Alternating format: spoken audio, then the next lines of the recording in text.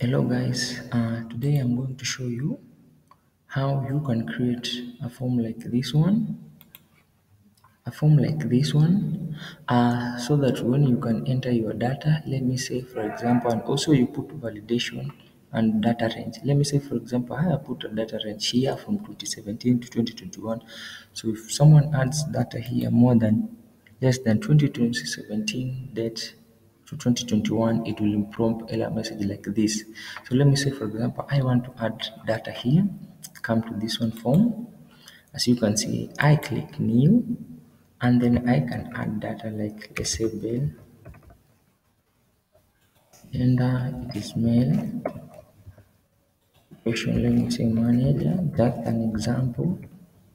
Dates let me say 1 1 2011 Second press enter, you can see it is saying that please input date valid between this range to this range. So how do you put validations in also forms? We are going to understand this from the scratch. So let us understand from the beginning and we see all all these things. So I have this here new form entry. I'm going to use this as an example. So here I can put my name and I can put male. Occupation I can put manager.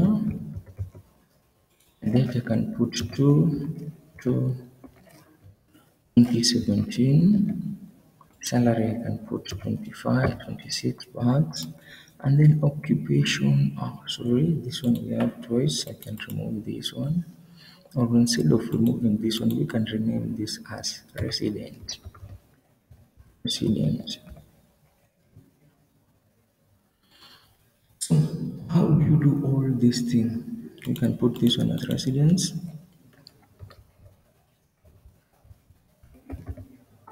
So how do you do this and we can say this one is Nairobi. A reason as why I put this one, I will show you why. So here, what do we need to do? This is salary, you come to general, you put currency. So, and then how now do you make your form to be that way? You come, you highlight everything like this.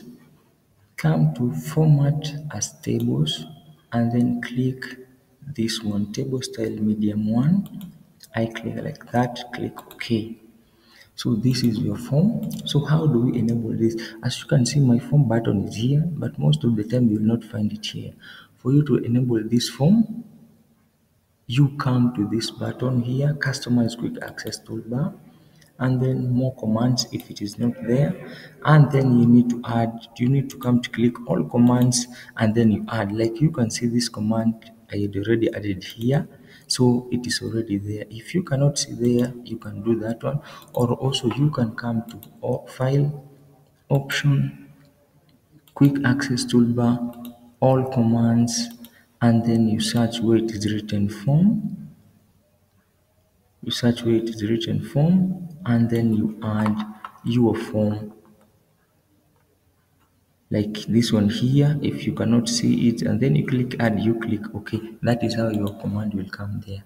So how do you i add data here? I just click on my form here. And let's say for example i want to put new data entry. I click new. For example let's say i put alicia. I put 23, gender female, occupation, let me say teacher,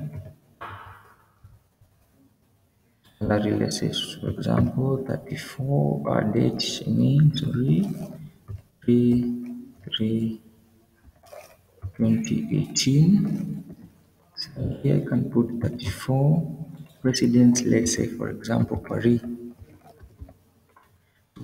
Ah, for my data to enter, I just click OK and you can see my data has been filled there. Also, if I want to add another one, I click new. As you can see, I put bright. Let's say, for example, 825, gender male, occupation analyst. Date you can put 3, 3, 2021 salary we can put 36 and then residence we can put Paris and I press enter. You can see this one saves a lot of time and no VBA needed. So another thing is that for example let me add one data value and then there's something I'm going to show you. Let me say for example Isha age 28 or we can put 27 gender it is female. Occupation let me say manager date you can put 2 2 2018 and then salary I can put 34 and then resident I can put Nairobi. And then I press enter. So we want to put validation here in date. This our data entry these dates. So how do you do all this come to this your date. And then you come to data come to data validation data validation and then you can put range this is date.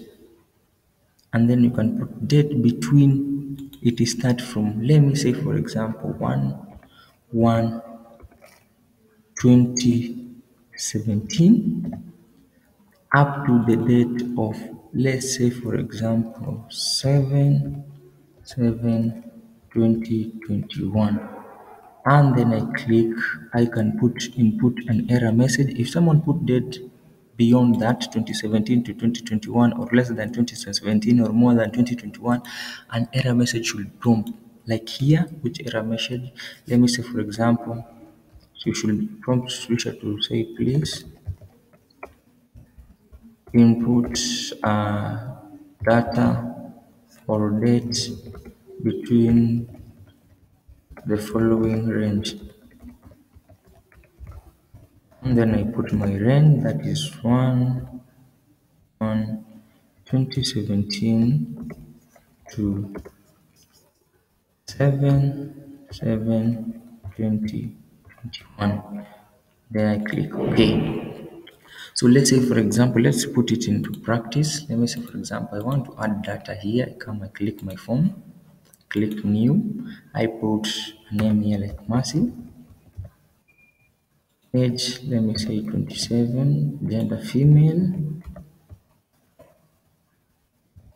Occupation let's say also we just put manager as an example and then date we can put now less than the validation date that we had put. Let me say one one or one two and then 2011 as I press enter you can see this an error message is appearing here on the screen. Please input data date between the following range on 1 2017 to 77 2021 and then if I click retry it removes that one. So I can put a valid date I can put let's say 2018 salary 24 then residence we can put Nairobi. And I press enter or you can see the form is not filling these other forms. So all I just need to do I just click find preview and then I return to add the data. Mercy 24 female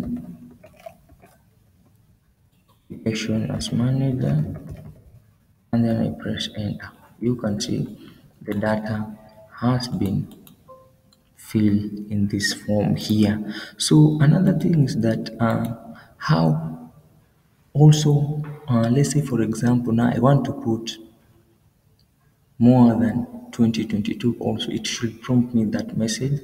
I come to form. I can say let's say we edit this Brian I put here date 20 23 if I press OK you see please input date between the following range. So this is how you can put data entry and I click retry. And I click 2021 the way it was and you're free to go like that. So let's say for example I want to find you have like a list of 1000 people and you want to find only people who are living in Paris. So how do you do this? You come to your form and then you come to criteria. I want people who are living in Paris. I come to residence, I click Paris and then I click find next or preview and it will bring Brian is living in uh, uh, you can uh, you can you can you can find people who are living in let's say for example if it is Paris or Nairobi. As you can find we have two Bright and who Alicia they are living in Paris. That is how you can find also people in a specific range. Or let's say for example even if you want amount of people salary people ranging in a certain time date you just come and at criteria and you input the value that you need to find. So this is how you can form data or input data entry in excel.